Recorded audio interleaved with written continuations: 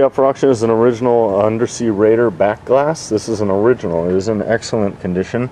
There are some uh, some chips here in the glass, little chips and scratches in the backing, and there are scratches here and there throughout the backing. But all in all, it is a very good example of an Undersea Raider back glass. Great to go in your machine.